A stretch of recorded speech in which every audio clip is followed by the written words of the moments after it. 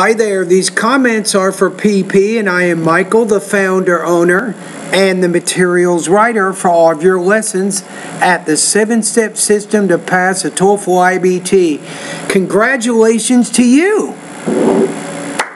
You have done what most students dream of doing. You got 27 points on the speaking section, and you sent me an email earlier today.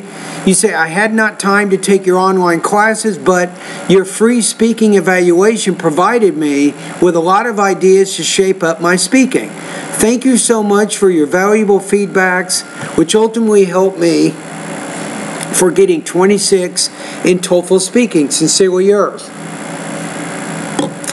You're welcome. And uh, thank you for using my TOEFL speaking service, my free TOEFL speaking evaluation service. And congratulations to you for getting your dream TOEFL score. Very, very good for you. You did it.